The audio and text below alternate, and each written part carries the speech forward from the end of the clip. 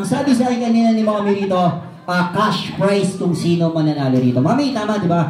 Ang sabi niya cash prize ay 1,000. Alright, 1,000 kung sino mananalo. Walang scam to, ha? Baka sabihin, scammer ako, walang scam to. 1,000 sa isang mananalo bawat group. Alright, halimbawa sa girls natin, isa ang mananalo sa inyo.